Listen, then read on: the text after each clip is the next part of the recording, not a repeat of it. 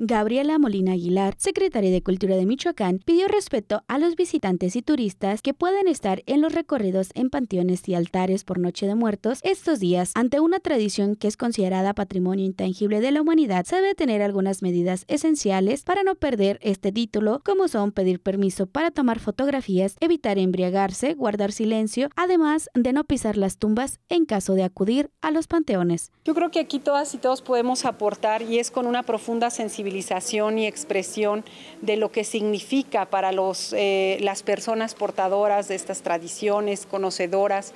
que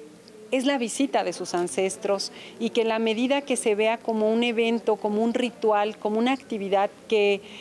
es identitaria de los pueblos originarios, sabremos caminar con más respeto. Molina Aguilar pidió sensibilidad de los visitantes para vivir una tradición como un ritual y no como un espectáculo, y no haya una falta de respeto a las familias que montan sus altares, incluso en la forma en que se difunde la información respecto a la celebración tan importante para la entidad. La recomendación y sensibilidad va más allá de los días de tradición, sino es un trabajo que debe ser constante durante todo el año. Sensibilizando muchísimo y recordando que más más allá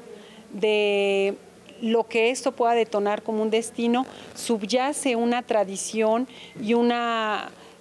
y un respeto de lo que somos como pueblo originario es decir, sensibilizando mucho y generando cada vez, eh, yo lo pongo en el ejemplo del tianguis artesanal, que hoy estamos teniendo, cada año ha ido mejorando, hemos buscado mejores condiciones para los artesanos, para que la mercancía, se, eh, para que las prendas, para que la artesanía se pueda exponer mejor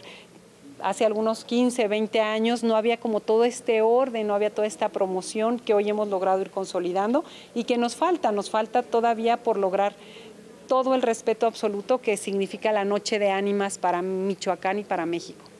Después de dos años de pandemia, la efervescencia se desbordó con más de 600 actividades culturales en más de 15 municipios. Entre los eventos más destacables que tuvo la Secretaría de Cultura está la puesta en escena de la obra Don Juan Tenorio y el Requiem que se celebró por parte de la Orquesta Sinfónica del Estado de Michoacán en la Basílica de Nuestra Señora de la Salud en Pátzcuaro. Con imágenes de Josué Vidales, informó para Noti 13 Margarita Arreola.